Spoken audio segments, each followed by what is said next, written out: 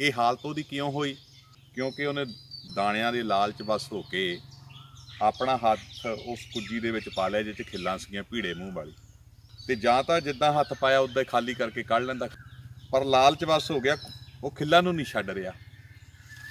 ਮਦਾਰੀ ਨੇ ਕੀਤਾ, ਫਿਰ ਉਹਨੂੰ ਫੜਿਆ, ਫੜ ਕੇ ਫਿਰ ਹੁਣ ਘਰ ਘਰ ਇਹਨੂੰ ਨਚਾਉਂਦਾ ਹੈ ਗੁਰਬਾਣੀ ਗੁਰੂ ਦੇ ਵਿੱਚ ਸੱਚੇ ਪਾਤਸ਼ਾਹ ਦੱਸ ਰਹੇ ਨੇ ਕਿ ਕਹਿੰਦੇ, ਮਰ ਕਟ ਮੁਸ਼ਟੀ ਨਾਜ ਕੀ ਮਨ ਬੌਰਾ ਰੇ।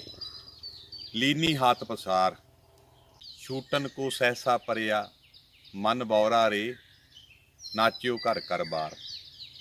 ਕਿਸ ਤਰ੍ਹਾਂ ਜਿਸ ਤਰ੍ਹਾਂ ਮਦਾਰੀ ਫੜ ਕੇ ਉਹਨੂੰ ਘਰ ਘਰ ਦੇ ਵਿੱਚ ਨਚਾਉਂਦਾ ਹੈ, ਇਸ ਤਰ੍ਹਾਂ ਕਾਲ ਰੂਪੀ ਸ਼ਿਕਾਰੀ ਜਿਹੜਾ ਹੈ, ਮਨ ਨੂੰ ਜਿਹਨੂੰ ਕਾਮ, ਕ੍ਰੋਧ, ਲੋਭ, ਮੋਹ, ਹੰਕਾਰ ਕਹਿੰਦੇ ਆ।